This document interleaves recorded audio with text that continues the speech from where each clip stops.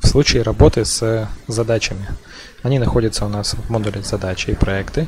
Мы в них переходим и можем здесь создавать задачи. Задачи создаются у нас через вот это меню, через добавить задачу, через вот это меню, через плюсик, либо через карточку клиента, в котором мы можем добавлять задачу в э, каждого клиента непосредственно, тем самым связывая эту задачу с этим конкретным клиентом. Как только что было в компании Гранат.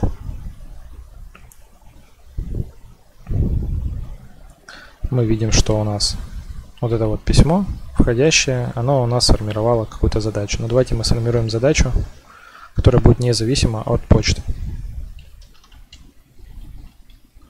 Проверка связи, крайний срок.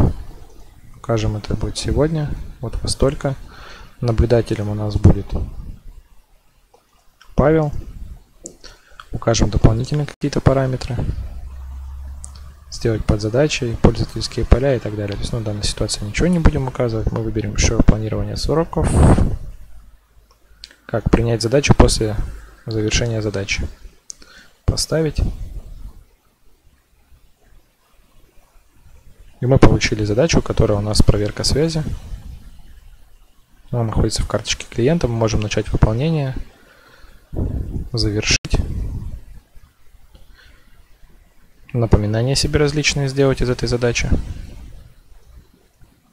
Ответственному постановщику либо себе. При достижении данного времени у вас будет напоминание в вот этот вот колокольчик о том, что задача, и ее нужно выполнить. Данной ситуации все информационные поля у нас, э, которые выводятся динамически, они находятся с правой стороны в карточке. Все статические поля находятся с левой стороны карточки.